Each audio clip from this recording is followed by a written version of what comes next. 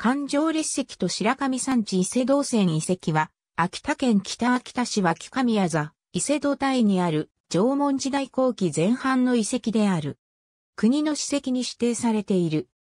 伊勢道線遺跡伊勢道線遺跡の一条門間近くの旧港殿に咲く大賀ハス秋田内陸縦貫鉄道の縄文大型駅の南方の勇者川を越えた標高40から45メートルの貸し段級の北端大地の上にある縄文時代後期前半の遺跡である。保存状態が良く、学術的な価値が高いことから2001年1月、国の史跡に指定された。遠路南側の森を抜けると、環状列石と白神山地が一望できる。また、縄文館周辺では、田んぼアートや約2000年前の品種の蓮の花を見ることができる。北海道、北東北の縄文遺跡群を構成する遺跡の一つとして世界遺産への登録を目指している。日時計型組石縄文時代後期の遺跡で AD の4つのストーンサークルや掘立柱建物跡、土工墓、土器埋設以降、捨て場、フラスコ浄土工、人計型組石などから構成されている。4つのストーンサークルからやや離れた場所に人計型組石が数個ある。これは、大湯環状列石と同じように、この組石の中心から、ストーンサークル A を見ると、夏至の日に太陽が沈む位置と大体一致する。ストーンサークル A は直径が約32メートルで上空からの平面型がメロンのような形をしており、鶴の部分が特徴的である。祭祀の際の特別の通路として機能していたのではないかとの指摘もある。ストーンサークル B は円ではなく、欠けた古城をしており、これは国鉄ア2号線の建設時に壊されたものであると考えられる。または未完成のストーンサークルだとする見解もある。また、ストーンサークル B の土工母からは完全な形で復元できる板状土偶が発掘されている。伊勢道線遺跡からは土偶が200点ほど見つかっているが、ほとんどが破片である。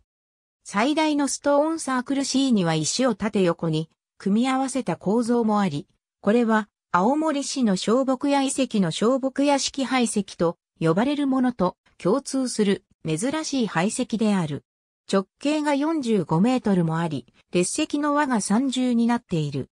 周囲には六本柱の掘立柱建物跡があり、これは大湯環状列石にも共通するものである。ストーンサークル D は直径約36メートルで、石の密度はやや低い。ストーンサークル C とストーンサークル D は半分程度発掘調査が終了しており、発掘技術が向上後に残りの部分を発掘する予定である。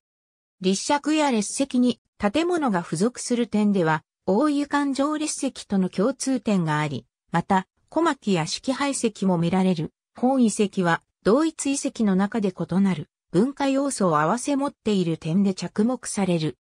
ストーンサークル近くの沢やフラスコ浄土港からは、板浄土宮や氷炭型瓦家、キノコ型土製品なども発見されており、捨て場や貯蔵穴の墓への転用が考えられる。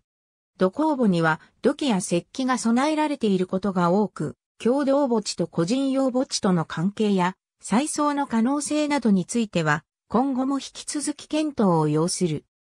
大湯環状列石では、立石下に死者が埋葬されているが、伊勢道線遺跡では丸く配置されている。石の中央に死者が埋葬されている。遺跡範囲は20万平方メートルに広がっており、環状列石は遺跡北西部に集中している。また、遺跡の東部には100メートルを超える縄文時代の溝状遺構が発見されている。その少し北にも環合遺構が発掘されているが、これは戦国時代の比内浅利氏の家臣の定石であると推定されている。伊勢道線遺跡の近くにある小型集落の住民の祖先はもともと浅利氏の家臣であり、この大地に定石があったとする言い伝えが残されている。伊勢道線遺跡のストーンサークルは、米城川、小猿部川、湯車川といった河川から採取された20種類以上の岩石が扱われている。これに対して、大湯環状列石では、石英戦力比に岩のみが使用されている。